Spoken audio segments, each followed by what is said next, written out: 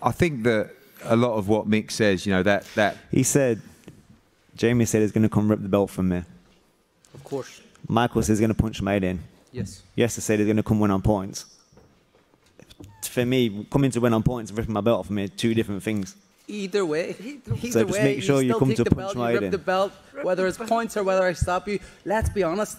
You could stop by Guy McDonnell. Jazza Dickens had you in your feet. They're both not You just keep watching them two You fights. You keep studying them two too. fights. You keep studying. You can discredit me all you want. You're just trying to convince I'm not yourself. I, don't, discrediting I haven't. I haven't. I told I haven't mentioned you're a none of your fighter. performances. I was so happy with your performance Sorry, I didn't against realise your Khan turn to talk. I thought you're a great fighter. I do think you're a great fighter. I think you punch hard. You're a good fighter. You have good boxing ability. But like I said yesterday, no good punch, slow feet, curly head. I'll punch your head in.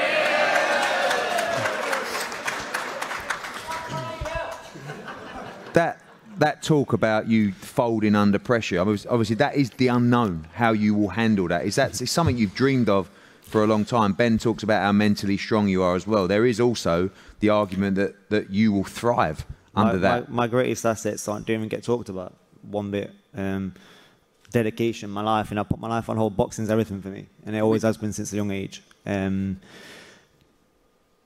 he's going to look at these defeats, and that's just going to work in my favour. Everyone looks at that. Everyone. I actually maybe look don't at look the at your defeats. Maybe look at the I don't look at your defeats. He's just trying to. Um, I don't look at your defeats. Just mention them. I mentioned Yeah. them, but I don't look at them. I, I don't need to haven't watched the discredit Michael. McDonnell I don't need to look at his performances. and go, Ben, you had to this, come. You this, weren't even meant to come, Ben. You took a day off Sorry, being the best, I'll hardest finish in working coach in the world to come here. You know, what I mean, you were the hardest coach in the world. Meant to go and Actually, train Josh Taylor yesterday, and he Actually, says, I went- I can't come here. Actually, I 'cause went home and go worked. Oh, Actually, I went home and worked. Actually, I went home and worked. as I was saying, I don't need to nitpick through his performances. I know what I'm going to do. I know exactly what I need to do. He can analyse all them performances.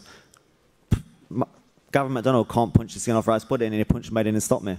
But if they want to watch that fight, then they're in for a, very hard night. Yeah, I haven't even watched Jazza Dickens, I was training at highlights. exercise for less, basically training myself.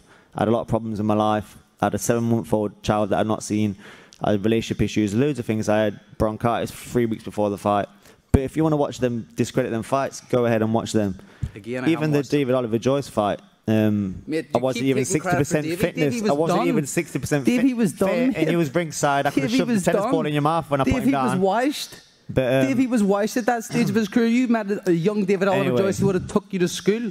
Michael's a great fighter. He's had some really good wins. Is a, a really big challenge, but um, I know I need to do on fight night, and um, it's going to make me discredit him. It's going to make my win look even worse. I just want to say how good a fighter he is, how a great champion he is. He's great uh, public for the public eye in Ireland. He's massive uh, profile, and um, all the best on fight night because you're going to need it.